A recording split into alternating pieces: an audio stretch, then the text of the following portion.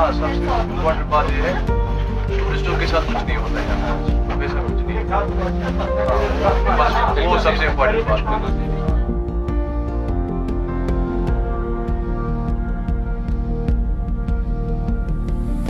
हमें डर नहीं लगता है हमें आदत पड़ चुकी ना। हालत सही होनी चाहिए। हालत जो थोड़ा खराब है वो सही होनी चाहिए। शांति चाहते हैं। शांति चाहते हैं। इसके लिए सब बहुत अच्छा है। यहाँ पे जो फेक न्यूज़ में देते हैं न्यूज़ वाले वैसा वो कुछ नहीं है। अच्छा।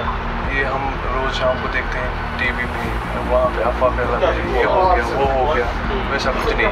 वैसा कोई मसला नहीं है। आपको रोक नहीं सकते।